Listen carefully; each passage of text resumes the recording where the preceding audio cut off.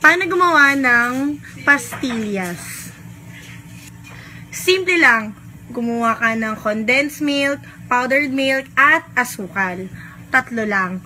Oo, tatlo lang. Hindi lima, hindi anim, hindi pito. Tatlo lang. Hindi kasing dami ng babae mo. Tapos, paghaluin mo yung powdered at saka condensed milk. Total, sanay ka namang pagsabay-sabayin lahat, ba? Tapos, pag sa tingin mong okay na, kumuha ka ng kutsara dun sa hinalo mo. Tapos, bilug-bilugin mo. Bola-bolahin mo. Total, doon ka naman magaling, di ba?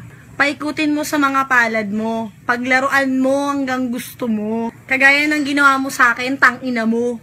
O okay na yon. Tapos, kapag tapos ka na, ibalot mo, tas iwanan mo na. Ganun ka naman, di ba? Tang ina ka, magka-diabetes ka sana.